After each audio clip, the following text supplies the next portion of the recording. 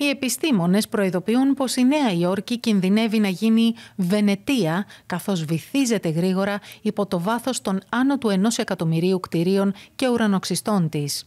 Μια ομάδα ερευνητών του Αμερικανικού Γεωλογικού Ινστιτούτου και του Πανεπιστημίου του Ροντάιλαντ ανακάλυψε ότι το βάρος των τεράστιων ουρανοξυστών προκαλεί τη βύθιση των πέντε μεγάλων συνοικιών της Νέας Υόρκης κατά ένα με δύο χιλιοστά ετησίως, ενώ κάποιες περιοχές βυθίζονται ταχύτερα. Μολονότι ο ρυθμός αυτός μπορεί να μην ακούγεται τόσο τρομακτικός όπως επισημαίνει ο επικεφαλής της έρευνας Tom Parsons, η βαθμιαία καθίζηση καθιστά τη Νέα Υόρκη εξαιρετικά ευάλωτη σε φυσικές καταστροφές την ώρα που η κλιματική αλλαγή αυξάνει τη στάθμη του ωκεανού. Ειδικά το Μανχάταν είναι λίαν επισφαλές, ενώ ανησυχίες εκφράζονται και για τις συνοικίες του Μπρούκλιν και του Κουίν, σύμφωνα με την έρευνα η Νέα Υόρκη αντιμετωπίζει σημαντικές προκλήσεις από τον κίνδυνο πλημμύρας.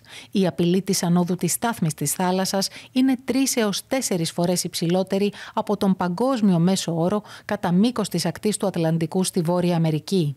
Ένα συγκεντρωμένος πληθυσμός 8,4 εκατομμυρίων ανθρώπων αντιμετωπίζει διάφορους βαθμούς κινδύνου από πλημμύρες στη Νέα Υόρκη, έγραψε ο Πάρσονς και η ομάδα του στη νέα έκθεση και συμπλήρωσε. Τα αέρια του θερμοκηπίου φαίνεται ότι μειώνουν το φυσικό φράγμα διάτμισης ανέμου κατά μήκος της ανατολικής ακτής των ΗΠΑ, κάτι που θα επιτρέψει τη συχνότερη εμφάνιση τυφώνων υψηλής έντασης τις επόμενες δεκαετίες. Και σε όλα αυτά οι επιστήμονες προσθέτουν έναν ακόμη παράγοντα επικινδυνότητας, την αδιαφορία των κατασκευαστικών εταιριών που ανεγείρουν ακίνητα στην ακτογραμμή της Νέας Υόρκης.